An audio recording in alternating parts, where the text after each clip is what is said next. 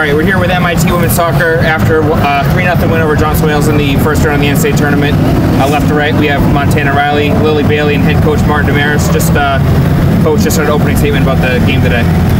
It was a good game. You know, I think I'm always happy when we're challenged and we can keep fighting and rise to it. And it was, and it was a strong performance from uh, Johnson and Wales in the first half. They really were organized and they didn't give us really great scoring chances. And um, so the be, you know, nil nil at halftime um, was was tough. But I was happy with the team's focus to come out and just just not get frustrated, just keep playing and trying to do things we want to do. And eventually, uh, um, Montana decided to uh, take over and we got three goals in the second half. Yeah, so Montana, just talk about the game from your perspective. Two goals and an assist uh, to lead MIT today. Just talk about that overall.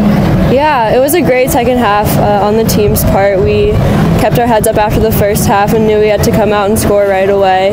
And the first goal, Emily Brazola had a great run and shot, and it was uh, rebounded, and I happened to be there to kick it in. The second goal, Krenna played a great through ball to me, and um, that's how that happened. And then the third goal, I saw Sophia right op- uh, like wide open in front of the net, and she put it in. So I think that's what we needed for the confidence to come out tomorrow.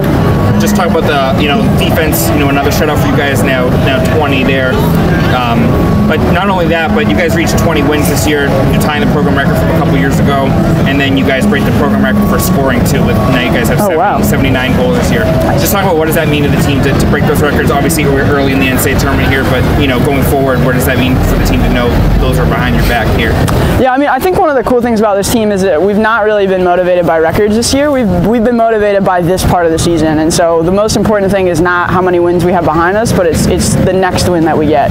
Um, I mean, as far as the defense, it was like it was amazing having some players back that have been out for long-term injuries. Um, everyone stepped up and and played their role, and I, I think the biggest thing that that we worked on and, and that we improved on as the game went on is just patience. Like our patience in the back to to provide opportunities to the forwards to go forward was was exceptional. So the other team can't score if they don't have the ball, and we had the ball a lot in the second half.